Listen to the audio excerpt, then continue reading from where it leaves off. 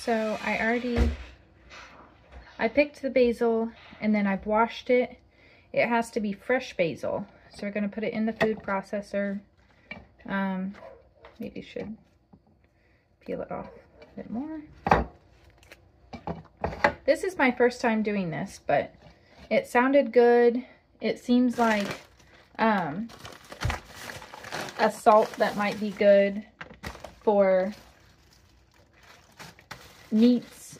Um, I'm wondering if you could even use it like a in a pasta or or ooh it might be good on like bruschetta or something with a little bit of olive oil. So just have a big bag. I was trying to think. Oh it's just sea salt. Um and pour that in there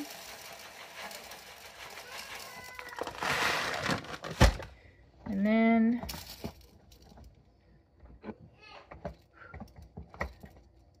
add the lid. Okay, lid's on. My food processor is an attachment for my immersion blender. Ready? Whoa. You want help? Mm. Yep, push that one.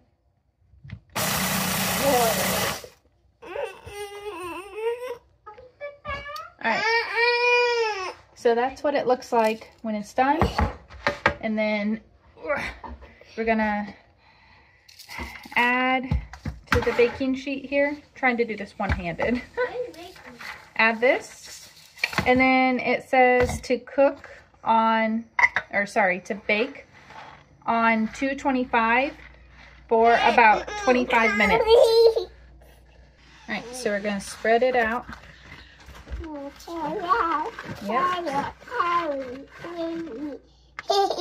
All right, thank you.